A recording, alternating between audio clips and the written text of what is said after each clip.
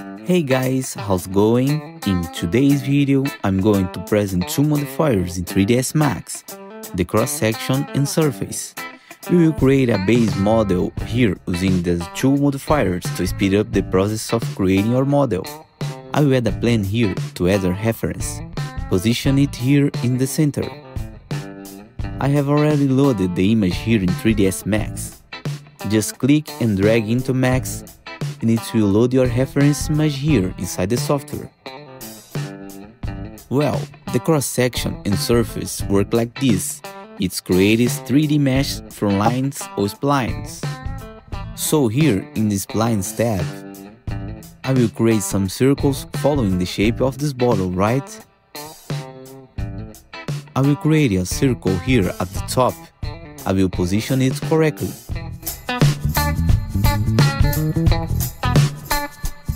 I will create all the other circles that will be this shape here of our bottle and I will be back with you talk about the modifiers.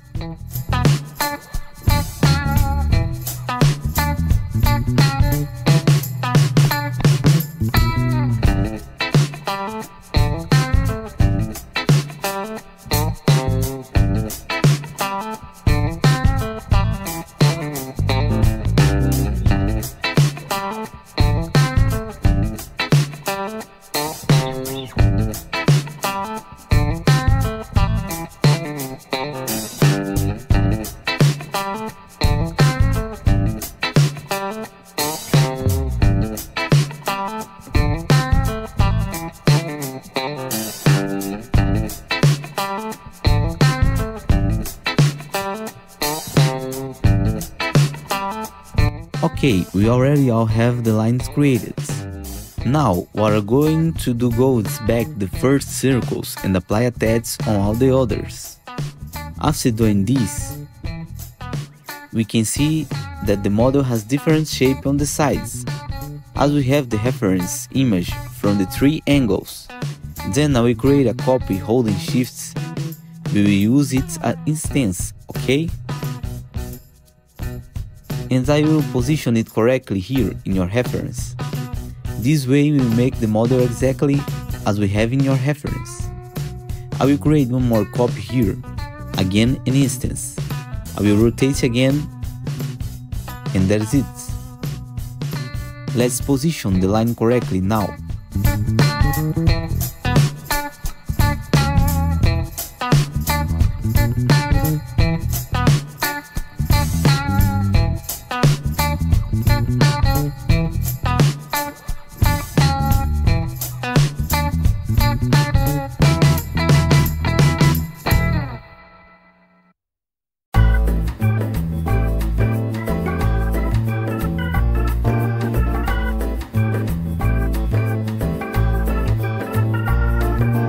After doing this, I will come here to segments and will delete half of this line that we created.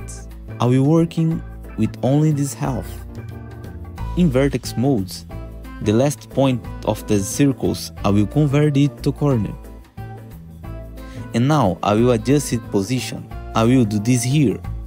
This one is the front one. We have it here in front. Let's position it here and this one that is in the middle. I will position it here. Okay, I will adjust the position here now with this corner. Very simple, just using scale, move and rotate to adjust the position of the circles.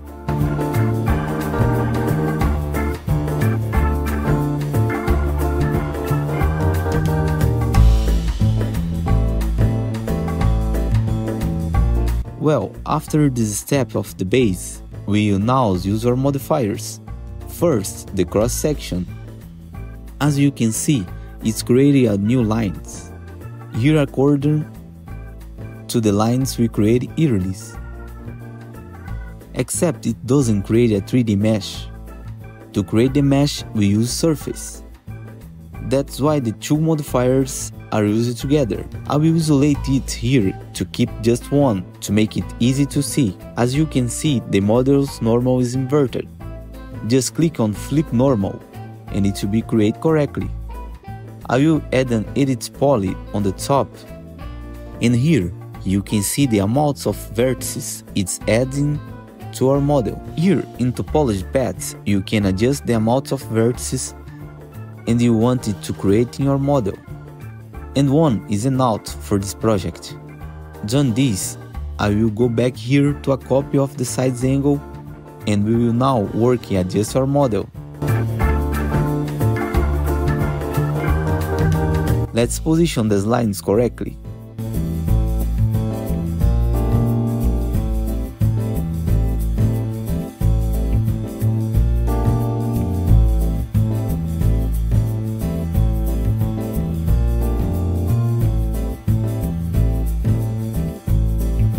As we can see here in front, I didn't create the right mesh, just created it's manually now holding shift. Aligning on the z-axis, make it down.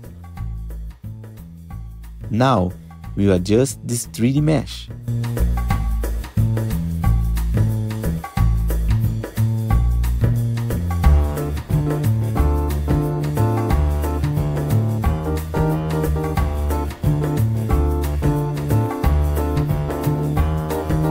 Here, I will create a segment to the sides. I will remove this edge and this one. We won't use this pointed here. It will remove it here, this line instead of throwing it to the sides. I will throw it here to the front. And I will create a copy down here. Done that, let's now add lines in the space here. For this, I use Alt 1 to add a loop. Holding down Shift, it will create a loop following the shape flow. As you can see, it has already added loops already holding the shape according to what the model. I will add a loop here and one more here. In front, I will return to our reference. You can see that everything is working. Just like this, we have the correct ads.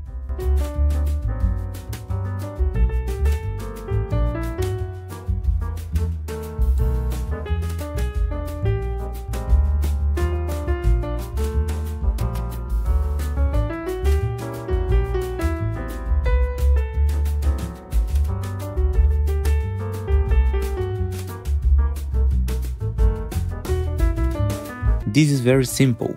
I will bring it here, let's adjust it better, here it's the space. So that this whole mesh works properly.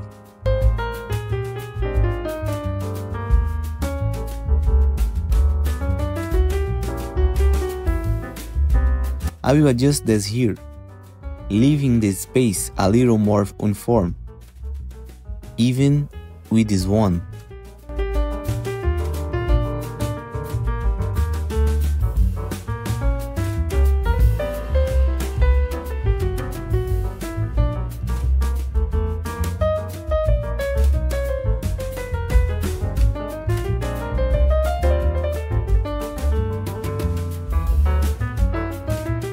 Here, I will need a new loop coming forward. For that, I will remove this loop and this edge. I will bring this one here. Let's remove this two one. Let's remove this one too. Let's bring this one here, this one here, and let's add a new one, leave it a little further apart. Add a new one, holding shift and let's connect it well.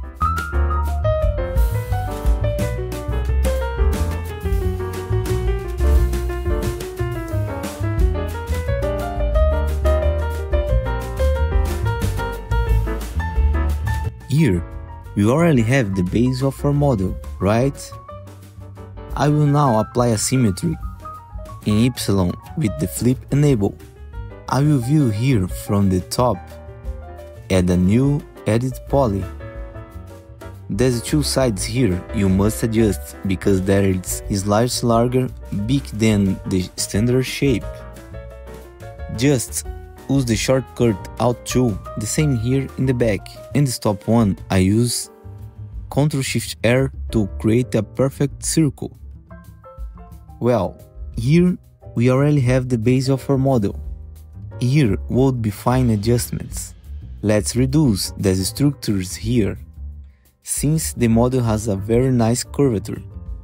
I will do the same here, and the same here.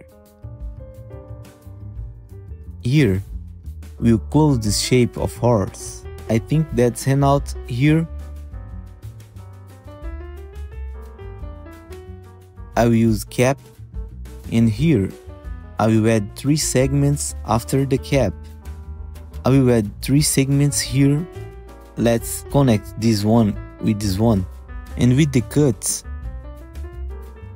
connect here. Well, we close this back part, it's already working.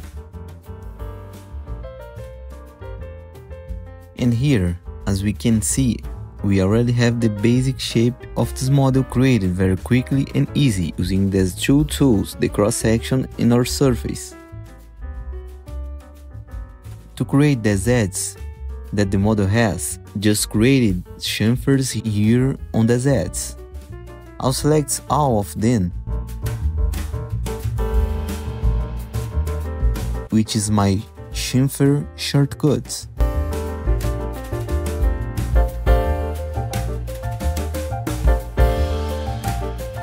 Select OpenSubdiv modifier and here we would already have those heads created.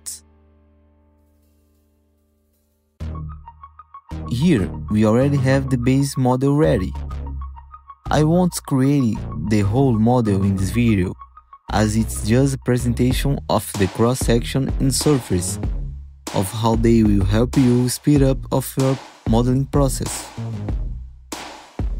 I will open here the model I will created using the same shape. Here you can see the model created correctly using the techniques present in the video. I hope you enjoy the contents. If you like it, you don't forget to subscribe to the channel. See you next time. Bye!